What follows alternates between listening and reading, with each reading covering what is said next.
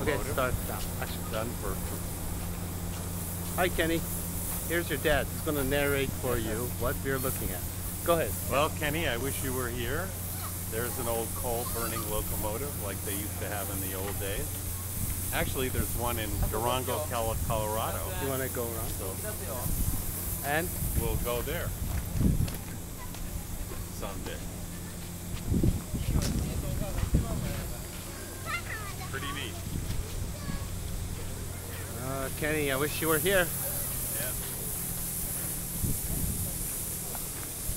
So how does it work, Ken? Do you know? how- Well, they have there's the coal car, Okay. and there's the steam engine, and they shovel coal into the engine, and they turn the motor.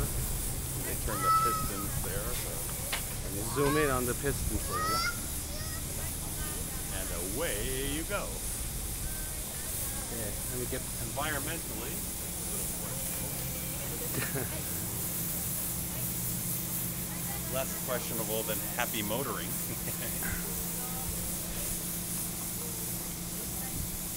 yeah, pretty neat. All right. Where do they have them in the U.S.? I know in Durango. There's a couple old steam railroads around. Are we going to ride this, Ken? No. Uh, I believe we didn't get reservations. Yeah, it was already full. Right. So So don't we worry. blew it.